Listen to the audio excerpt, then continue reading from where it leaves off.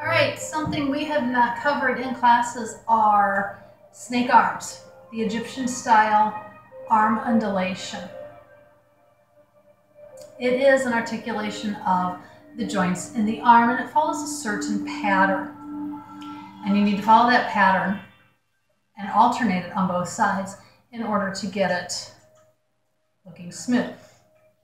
So this is not driven by the hands. Everybody sees the hands and they, oh, I'll just do this with my hands. This is how you do an arm undulation leading with your hands. Not, not so much. So, I'm not trying to fly away. So, it starts with the shoulder. So, do a big shoulder roll to see what your range of motion. You can do both of them at the same time or do just one arm. And you want to get the whole circle. So coming, push forward, lift up, bring it back behind you, and push down. That'll give you the furthest range of motion for your shoulder. You're going to use a lot of this, especially this upper part, when we do an arm undulation. So it's good to know how high up and how far back you can comfortably move your shoulder. So that's the first motion, is the shoulder. So shoulder pushes forward, elbow comes up. Now looking straight on, this looks like it's coming straight out of my side. My elbow is a little bit back from where my shoulder's pushed forward. If I bring my shoulder back, that's where my arm ends up. But when I push it forward, the way our joints are created. It pushes the elbow back. This is where you want the elbow. And you want to bend in your arm. You don't want it straight down here. You don't want to have it crunched up here. And you don't want your arm straight out to the side.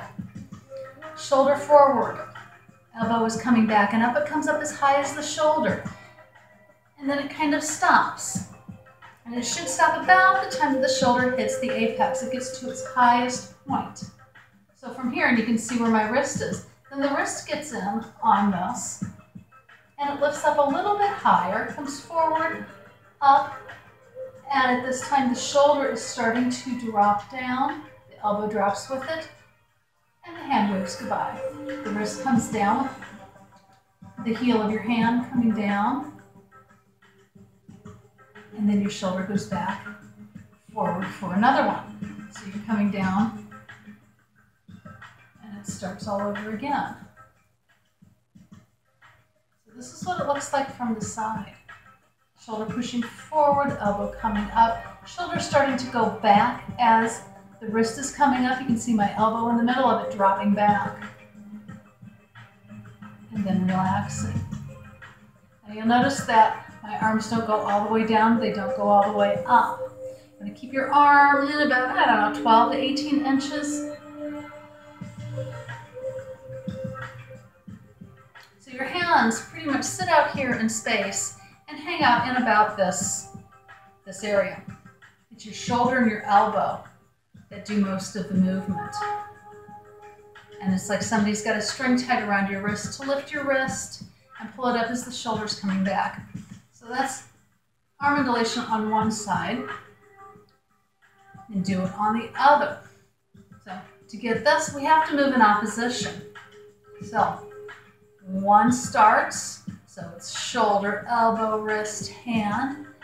And then as it's dropping back, shoulder, elbow, wrist.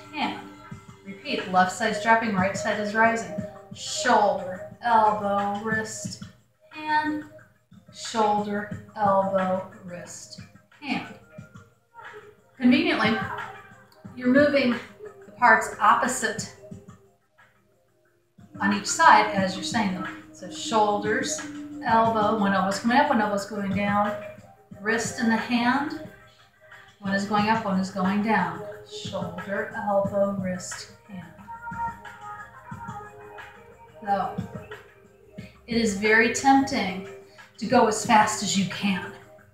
And even if you know how to do these very, very well, and some of you do, and, and I can tell when you've practiced and when you haven't, doing these fast rarely looks good. Our undulations are generally slow. They are slow, they are sensuous, they are slinky. And this is a very basic arm undulation. I'm standing up very, very straight. My arms are out.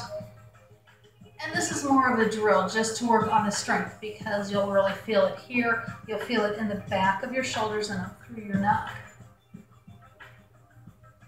And the slower you do these, the better your arm undulations will be.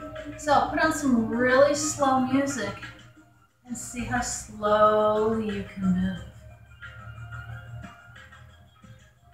And you notice I kind of pace around a little bit.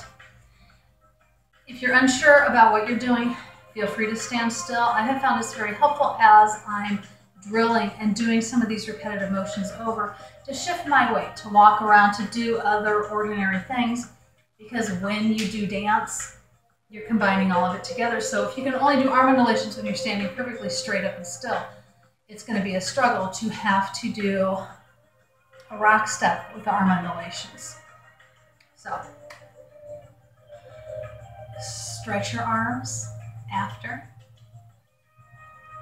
You'll feel it right there on the top of your shoulder. Arms up, stretch back this way, and bring them down. And just remember, slow, very slow. If you don't think you're going slow enough, or you think you're going slow enough, slow down, because you probably are. Set up your video camera or your phone. Videotape yourself to see how you're doing.